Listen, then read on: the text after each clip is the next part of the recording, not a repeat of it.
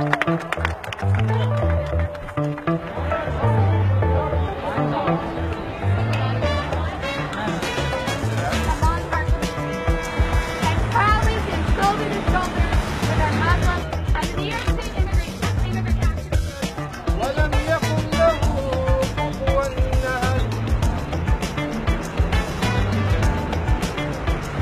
today for one simple reason to stand against the policy of hatred and uh, Islamophobia and uh, to preach peace.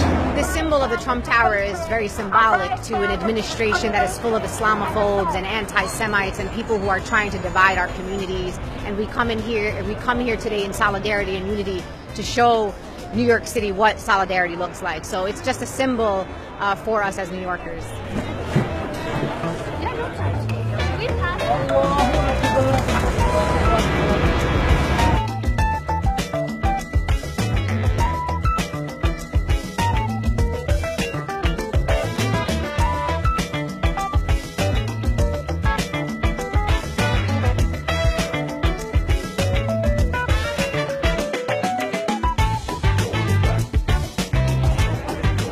What we really wanted to do was be out here in public, in community with each other, inter, you know, New Yorkers of all faiths coming together to support our Muslim brothers and sisters and say, you know, this is what real America looks like. These are American values, these are New Yorker values, and we will stand strong um, in support of this.